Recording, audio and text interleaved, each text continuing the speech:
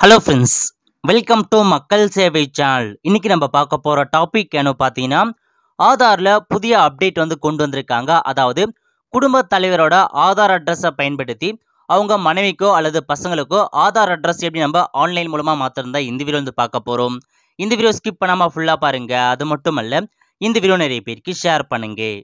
Okay first இந்த website ஓம் பண்ணிக்கோங்க. இந்த வெப்சைட்கான லிங்கை நான் டிஸ்கிரிப்ஷன் வந்து கொடுத்துட்றேன்.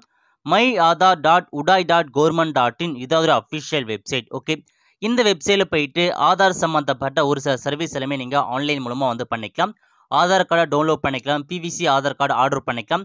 ஸ்டேட்டஸ் செக் பண்ணலாம். இந்த மாதிரி நிறைய ஆப்ஷன்களுக்காக வந்து கொடுத்துருக்காங்க.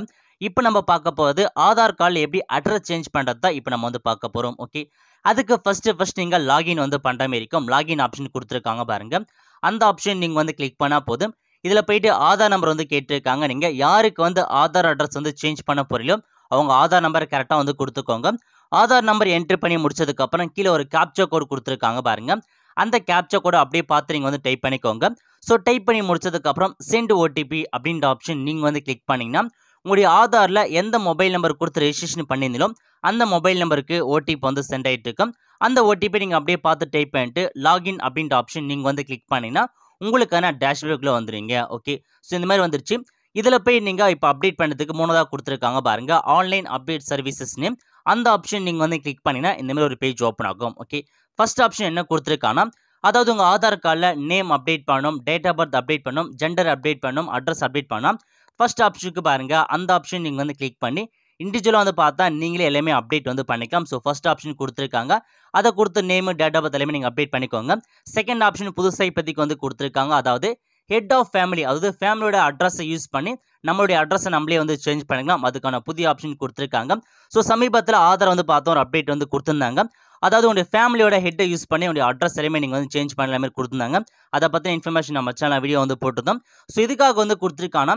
ஸோ நிறைய பேர் வந்து பார்த்தோம் புதுசாக திருமணம் ஆவாங்க. அவங்களுக்கு வந்து பார்த்தா அட்ரஸ் ப்ரூஃப் எதுவுமே வந்து கணவருடைய அட்ரஸ் ப்ரூஃப் எதுவுமே வந்து அவங்களுக்கு வந்து இருக்காது.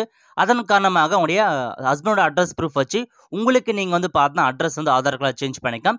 அதுக்கான ஒரு ஆப்ஷன் இப்போதைக்கு வந்து கொடுத்துருக்காங்க. அது மட்டும் இல்லாமல் உடைய பசங்களுக்கு மாற்றினாலும் சரி கணவருடைய அட்ரஸ் வச்சு பசங்களுடைய அட்ரஸ் ப்ரூஃபும் நீங்கள் வந்து மாற்றிக்கலாம் ஓகே ஸோ செகண்டாக இருக்க பாருங்கள் இந்த ஆப்ஷன் நீங்கள் வந்து கிளிக் பண்ணிக்கோங்க.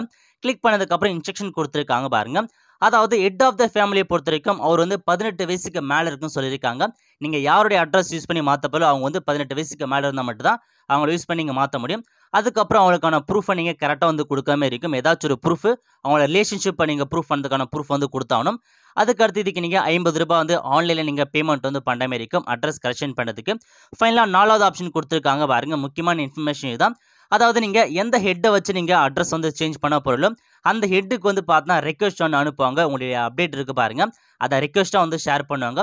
அந்த ரெக்வஸ்ட்டு அந்த சம்மந்தப்பட்ட ஹெட் இருக்கார் பாருங்க. அவர் வந்து அக்செப்ட் வந்து பண்ணுற மாதிரி இருக்கும். இதெல்லாமே நம்ம லைவாக வந்து பார்த்தோம் இப்போ எப்படி பண்ணுறதுன்னு வந்து பார்க்கலாம் ஓகே ஸோ அப்படியே கீழே வந்து கடைசியாக வந்து கொடுத்துருக்காங்க பாருங்க. நெக்ஸ்ட் அப்படின்ற ஆப்ஷன் நீங்கள் வந்து கிளிக் பண்ணிங்கன்னா உங்களுடைய அட்ரஸ் வந்து பார்த்தோம்னா ஷோ ஆகும். ஸோ இல்லை எது மாற்ற வரும்? அதை நீங்கள் ஈஸியாக மாற்றிக்கலாம் பட் இப்போதைக்கு அட்ரஸ் வந்து பார்த்தா மேலே உங்களை டைப் பண்ண முடியாது. ஆட்டோமேட்டிக்காக வந்து பார்த்தா நீங்கள் ஹெட் ஆஃப் ஃபேம்லேருந்து அட்ரஸ் ஆட்டோமேட்டிக்காக மாறும். நீங்கள் எதுவுமே வந்து டைப் பண்ண போகிறது வந்து கிடையாது. ஓகே இதில் வந்து பார்த்தா ஹெட் ஆஃப் டீட்டெயில்ஸ் கேட்டிருக்காங்க பாருங்கள் நீங்கள் வந்து யாருடைய ஆதார பேஸ் பண்ணி நீங்கள் மாற்ற போகிறேன்னு கேட்டிருக்காங்க. ஹெட் அதாவது உங்கள் ஹஸ்பண்டை வச்சு மாற்ற போகலாம் ஃபாதர் வச்சு மாற்ற போகிறன்றதை நீங்கள் வந்து கொடுக்குற மாதிரி இருக்கும். அவங்களுடைய ஆதார் நம்பர் கேட்டிருக்காங்க பாருங்கள் ஸோ நீங்கள் யாரை வச்சு ஆதார் கார்டு மாற்ற போகிறீங்களோ அவங்க ஆதார் நம்பரை நீங்கள் தெளிவாக வந்து கொடுத்துக்கோங்க. அவங்க ஆதார் கார்டில் எப்படி அட்ரஸ் இருக்கோ அது ஆட்டோமேட்டிக்காக உங்களோட அட்ரஸ்க்கு வந்து மாறிடும். ஓகே அதேமாரி அவங்களுடைய ஆதார் கார்டில் எந்த மொபைல் நம்பர் இருக்கோ அந்த மொபைல் நம்பர் ஆட்டோமேட்டிக் வந்து பார்த்தா வந்துருச்சு. அதை நோட் பண்ணிக்கோங்க. அதுக்கு அடுத்து ரிலேஷன்ஷிப் டைப் கேட்டிருக்காங்க பாருங்க. உங்களுக்கு அவங்க என்ன ரிலேஷன்ஷிப் வேணும்?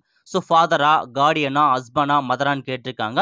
ஸோ நீங்கள் என்ட்ரு பண்ண ஹெட் ஆஃப் ஃபேமிலி வந்து யாருன்றதை நீங்கள் மென்ஷன் பண்ணிக்கோங்க. ஃபாதர்னா ஃபாதர் கொடுங்க. ஹஸ்பண்ட்னா ஹஸ்பண்டத்தை நீங்கள் வந்து செட் பண்ணிக்கோங்க. ஓகே செட் பண்ணதுக்கப்புறம் வேலிட் ப்ரூஃப் வந்து கேட்டிருக்காங்க பாருங்க. சப்போர்ட்டிங் டாக்குமெண்ட் வந்து கேட்டிருக்காங்க. ஸோ இதில் வந்து ஒரு சில டாக்குமெண்ட்ஸ்லாம் வந்து கொடுத்துருக்காங்க நீங்கள் அதாவது நீங்கள் யாருடைய அட்ரஸ் சேஞ்ச் பண்ண போகிறோம் அவங்க டாக்குமெண்ட்டை நீங்கள் அப்லோட் வந்து பண்ணுற மாதிரி இருக்கும்.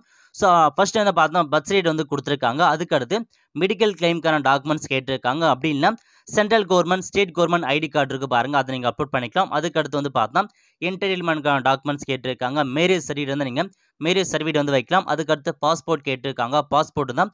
பாஸ்போர்ட் அப்லோட் பண்ணுங்கள் அதுக்கு அடுத்து பென்ஷன் கார்டு ரேஷன் கார்டு கேட்டிருக்காங்க. சர்டிஃபிகேஷன் வந்து கேட்டிருக்காங்க. இதில் ஏதாச்சும் ஒரு டாக்குமெண்ட்டை நீங்கள் அப்லோட் வந்து பண்ண மாதிரி இருக்கும். ஹெட் ஆஃப் ஃபேமிலி யாரோ நீங்கள் யாருக்கு கொடுத்து மாற்றுறீங்களோ அவங்களுடைய டாக்குமெண்ட்ஸை கண்டிப்பாக நீங்கள் வச்சுருங்க. உங்கள் டாக்குமெண்ட்ஸ் வந்து கிடையாது. ஓகே ஸோ நீங்கள் ஒருவேளை நீங்கள் ரேஷன் கார்டு சைட் பண்ணுறதா கண்டிப்பாக ரேஷன் கார்டில் அந்த நீங்கள் யாரை வச்சு மாற்றலோ அவங்க நேம் கண்டிப்பாக அதில் வந்து இருக்குன்னு சொல்லியிருக்காங்க. எந்த நீங்கள் ப்ரூஃப் வைக்கணும் அந்த ப்ரூஃபில் அவங்க நேம் கண்டிப்பாக வந்து இருக்கணும் ஓகே ஸோ தெளிவான ஏதாச்சும் ஒரு டாக்குமெண்ட்ஸ் நீங்கள் வந்து கொடுத்துக்கோங்க. ரேஷன் கார்டு இருந்தால் நீங்கள் ரேஷன் கார்டு கூட அப்லோட் வந்து பண்ணிக்கலாம். ஒன்றும் வந்து பிரச்சனை கிடையாது. பட் டாக்குமெண்ட்டை பொறுத்து நீங்கள் கிளியராக வந்து ஸ்கேன் பண்ண சொல்லியிருக்காங்க. டாக்குமெண்ட் எல்லாமே கிளியராக ஸ்கேன் பண்ண மட்டும் தான் உங்களுக்கு நாங்கள் வந்து அக்செப்ட் பண்ணணும். இல்லை ரிஜெக்ட் பண்ணுறதை தெளிவாக வந்து கொடுத்துறாங்க ஓகே இப்போ நீங்கள் வந்து பார்த்தா ஓகே அப்படின்ற ஆப்ஷன் வந்து கிளிக் பண்ணி ஏதாச்சும் ஒரு டாக்குமெண்ட்ஸ் நீங்கள் வந்து சைட் பண்ணிக்கோங்க.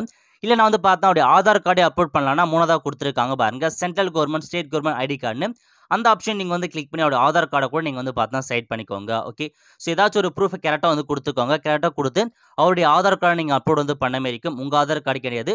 யாருடைய டாக்குமெண்ட்ஸ் சைட் பண்ணோ அவங்க டாக்குமெண்ட்ஸ் நீங்கள் அப்லோட் பண்ணிக்கோங்க. ஓகே அப்லோட் பண்ணுறதுக்கு கீழே ஆப்ஷன் கொடுத்துருக்காங்க பாருங்க. வி ஒன் டாக்குமெண்ட் இருக்கும். அந்த ஆப்ஷன் நீங்கள் வந்து கிளிக் பண்ணி தான் அப்லோட் வந்து பண்ண மாதிரி இருக்கும். அப்லோட் டாக்குமெண்ட் இருக்குது பாருங்க. அந்த ஆப்ஷன் நீங்கள் வந்து கிளிக் பண்ணிங்கன்னா இந்த மாதிரி வந்து பார்த்தா கண்டினியூ வந்து பண்ணமான்னு கேட்கும். ஸோ நீங்கள் வந்து கண்டினியூ டு அப்லோட் அப்படின்ற ஆப்ஷன் நீங்கள் வந்து கிளிக் பண்ணி பிடிஎஃப் ஃபார்மேட்டில் உங்களுக்கு டாக்குமெண்ட்ஸ் நீங்கள் அப்லோட் பண்ணிக்கோங்க. ஜேபே ஃபார்மேட் கிடையாது.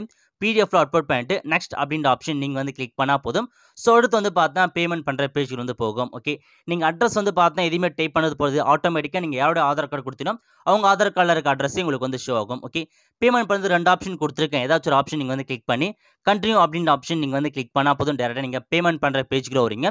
இல்லை நிறைய ஆப்ஷன் கொடுத்துருக்காங்க பாருங்கள் கிரெடிட் கார்டு கொடுத்துருக்காங்க டெபிட் கார்டு கொடுத்துருக்காங்க நெட் பேங்கிங் கொடுத்துருக்காங்க யூபிஐ கொடுத்துருக்காங்க பேடிஎம் கொடுத்துருக்காங்க. ஏதாச்சும் ஒரு பேமெண்ட் மெத்தட் யூஸ் பண்ணி பேமெண்ட் வந்து பண்ணிடுங்க. ஐம்பது ரூபாய் நீங்கள் பேமெண்ட் வந்து பண்ணுற மாதிரி இருக்கும். ஓகே ஒன்ஸ் நீங்கள் பேமெண்ட் பண்ணதுக்கு அப்புறம் வந்து பார்த்தா பேமெண்ட் வந்து சக்ஸஸ்ஃபுல் ஆகி உங்களுக்கான அமௌண்ட் எவ்வளோ எல்லாமே வந்து கொடுத்துறாங்க. என்றைக்கு பேமெண்ட் பண்ணி எல்லாமே கொடுத்துறாங்க. டவுன்லோட் அக்னாலஜ்மெண்ட் அப்படின்ற ஆப்ஷன் நீங்கள் வந்து கிளிக் பண்ணி உங்களுக்கான அக்னாலஜ்மெண்ட் ஸ்லிப்பை நீங்கள் டவுன்லோட் வந்து பண்ணிக்கலாம். ஓகே இந்த மாதிரி வந்து பார்த்தா டவுன்லோட் ஆயிடுச்சு. இதில் உங்களுக்கு தெளிவாக கொடுத்துறாங்க பாருங்க. உங்கள் ஆதார் நம்பர் என்ன எஸ்ஆர்என் நம்பர் கொடுத்துருக்காங்க பாருங்க. இதான் முக்கியமான இன்ஃபர்மேஷன் இந்த எஸ்ஆர்என் நம்பர் யூஸ் பண்ணி நீங்கள் ஸ்டேட்டஸ் வந்து செக் பண்ணுற மாதிரி இருக்கும். ஓகே கீழே கொடுத்துருக்காங்க பாருங்க. ரெக்வஸ்ட் டைப் வந்து பார்த்தா அட்ரஸ் தான் நீங்கள் சப்மிட் கரெக்ஷன் பண்ணது கொடுத்துருக்கீங்க. கீழே ஒரு இன்ஃபர்மேஷன் கொடுத்துருக்காங்க பாருங்க. அதாவது your address update request has been sent to head of the family நீங்கள் யாரோட ஹெட் ஆஃப் ஃபேமிலி அதாவது யாரோட அட்ரஸ் கொடுத்து நீங்கள் சேஞ்ச் பண்ண பார்த்தீங்களோ அவருக்கு வந்து பார்த்தா ஒரு ரெக்வஸ்ட் வந்து அனுப்பியிருக்கும். அவர் வந்து பார்த்தா அதை அக்செப்ட் பண்ணுறத தெளிவாக வந்து கொடுத்துருக்காங்க. கண்டிப்பாக அவர் அக்செப்ட் பண்ணால் மட்டும்தான் நீங்கள் வந்து பார்த்தா அடுத்த இன்ஃபர்மேஷனுக்கு வந்து போவீங்க. ஓகே அதாவது நீங்கள் யாருடைய ஆதார் முகவரி கொடுத்து நீங்கள் சேஞ்ச் பண்ண போயிடலோ அவருக்கு நீங்கள் லாகின் வந்து பண்ணுற மாரி இருக்கும். அகைன் நீங்கள் வந்து பார்த்தா மை ஆதார் இருக்குது பாருங்கள் அந்த வெப்சைட்டில் போயிட்டு நீங்கள் யாருக்கு வந்து யாருடைய ஆதார் அப்டேட் பண்ணி கொடுத்தீங்களோ அவங்களுடைய லாகின் பண்ணிக்கோங்க. சேம் உங்களுக்கு எப்படி லாகின் பண்ணிக்கலாம்? அதேமாரி அவங்க ஆதார் நம்பரை கொடுத்து நீங்கள் லாகின் வந்து பண்ணிக்கோங்க. ஓகே ஸோ லாகின் பண்ணதுக்கப்புறம் அப்படியே கீழே போனீங்கன்னா ஸோ மை ஹெட் ஆஃப் ஃபேமிலின்னு இருக்குது பாருங்க. அந்த ஆப்ஷன் நீங்கள் வந்து கிளிக் பண்ணுற மாதிரி இருக்கும். அவருக்கு வந்து பார்த்தா ஆட்டோமேட்டிக்காக ரெக்வெஸ்ட் வந்து போயிட்டு இருக்கும். அதை அவர் வந்து அக்செப்ட் வந்து பண்ணுற மாதிரி இருக்கும். Okay my head of family request அப்படின்ற ஆப்ஷன் நீங்கள் வந்து கிளிக் பண்ணி அவருடைய அக்கௌண்ட்டில் போயிட்டு எஸ்ஆர் நம்பர் கேட்டிருக்காங்க பாருங்க. இந்த எஸ்ஆர் நம்பர் அப்படியே காப்பி பண்ணி இதை நீங்கள் வந்து பேஸ்ட் பண்ணிக்கோங்க.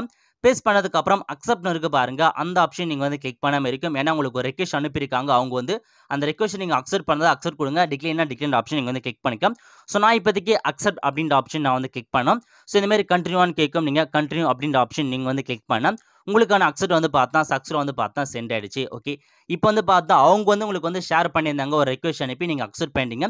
இதுக்கப்புறம் வந்து பார்த்தா சம்மந்தப்பட்ட ஆஃபீஸருக்கு வந்து போயிட்டு இருக்கும். ஓகே இந்த மாதிரி தான் நீங்கள் ரெண்டு விதமான ப்ராசஸ் வந்து பண்ணுற மாரி இருக்குது ஃபஸ்ட்டு ஆன்லைனில் அப்டேட் பண்ணோம் அதுக்கப்புறம் நீங்கள் யார் ஆதார வச்சு யார் ஆதார வச்சு அப்டேட் பண்ணீங்களோ அவங்க ஆதாரை லாகின் பண்ணி நீங்கள் அக்செப்ட் வந்து பண்ணுற மாதிரி இருக்கும். ஓகே இப்போ நீங்கள் ஸ்டேட்டஸ் வந்து செக் பண்ணலாம். முடிச்சு நம்ம ஸ்டேட்டஸ் செக் பண்ணலாம். லாக் அவுட் பண்ணிக்கோங்க.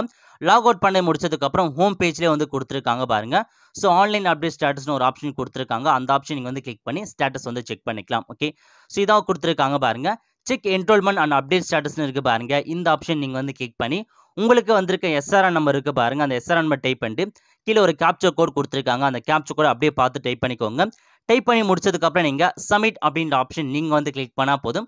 உங்களுக்கான ஸ்டேட்டஸ் என்ன அப்படின்றத நீங்கள் வந்து தெரிஞ்சுக்கலாம். ஓகே இப்போ நான் வந்து சப்மிட் கொடுத்துறேன் ஸ்டேட்டஸ் பொறுத்தவரைக்கும் கீழே கொடுத்துருக்காங்க பாருங்க. உங்களுடைய அப்ளிகேஷன் வந்து பார்த்தா பேக் அண்ட் ஆப்ரேட்டர் வந்து பார்த்தா இப்போதைக்கு இருக்குது அவர் வந்து பார்த்தா செக் பண்ணிவிட்டு உங்களுக்கு வந்து அக்செப்ட் கொடுப்பன மாதிரி வந்து சொல்லியிருக்காரு. ஸோ அவர் வந்து செக் பண்ணி பார்த்துட்டு அக்செப்டாக ரிஜிட்டான்றது உங்களுக்கு வந்து கொடுத்துருவாங்க. ஓகே இந்த மாதிரி தான் நீங்கள் வந்து பார்த்தா நீங்கள் அப்டேட் வந்து பண்ண மாதிரி இருக்கும். அப்டேட் பண்ணதுக்கப்புறம் ஸ்டேட்டஸ் வந்து செக் பண்ணிக்கோங்க. ஓகே ஸோ இதான் உங்களுக்கான இன்ஸ்ட்ரக்ஷனாக வந்து கொடுத்துருக்காங்க. அதாவது இப்போ நீங்கள் வந்து பார்த்தா நார்மலாக ஓப்பன் போர்ட்டில் போயிட்டு ஒரு நேமு அல்லது ஆ டேட் ஆஃப் பர்த் அப்டேட் பண்ணால் நீங்கள் அப்படி வந்து அப்டேட் பண்ணாதீங்க ஓப்பன் போர்ட்டில் ஏன்னா ஓப்பன் போர்ட்டில் நீங்கள் அப்டேட் பண்ண சொல்ல உங்களுக்கு ஒரு சில நேரத்தில் அப்டேட் பண்ணதுக்கப்புறம் அதே டேட் ஆஃப் பர்த் தான் ஷோ ஆகுது அதே நேம் தான் அப்டேட் பண்ணி வருது நிறைய பேர் வந்து கம்ப்ளைண்ட் பண்ணிருக்கீங்க ஏன்னா நேம் பொறுத்த வரைக்கும் ஒரு தடவை தான் சேஞ்ச் பண்ணணும். சாரி நேம் பொறுத்த வரைக்கும் ரெண்டு தடவை நீங்கள் கரெக்ஷன் பண்ணிக்கலாம். டேட் ஆஃப் பர்த்தை பொறுத்த வரைக்கும் ஒரு தடவை தான் உங்களால் அப்டேட் வந்து பண்ண முடியும். இந்த மாதிரி நீங்கள் ஓப்பன் போர்ட்டில் பண்ண சொல்ல இந்த மாதிரி எரர் காரணமாக உங்களுக்கு சேம் அதே நேம் ஒருத்தால் நீங்கள் திரும்ப உங்களால் அப்டேட் வந்து பண்ண முடியாது. திரும்ப நீங்கள் ஆதாருக்கு வந்து ரெக்வெஸ்ட் பண்ணி திரும்ப உங்களுக்கு எக்ஷன் வந்து பண்ணாமல் இருக்கும்.